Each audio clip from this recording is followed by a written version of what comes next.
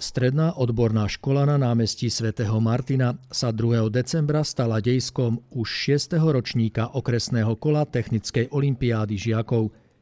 Jej vyhlasovateľom je Ministerstvo školstva Slovenskej republiky. V spoločenskej sále privítala účastníkov riaditeľka hostiteľskej školy Ľudmila Mičová, ktorá sa tiež ujala úlohy predsedničky okresného kola.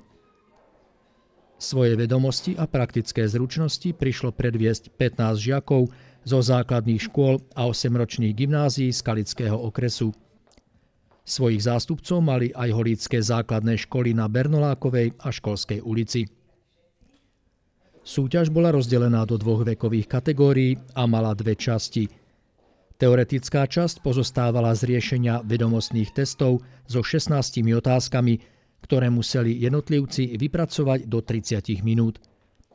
V praktickej časti mali súťažiaci v časovom limite 90 minút vypracovať zadanie podľa stanovených podmienok a technického náčrtu. Súťažiaci v kategórii A mali za úlohu zhotoviť z pripraveného materiálu drevený svietnik. Žiaci v kategórii B museli vyrobiť drevený uholník. Hodnotilo sa najmä dodržanie rozmerov, kvalita opracovania a celkový vzhľad výrobku.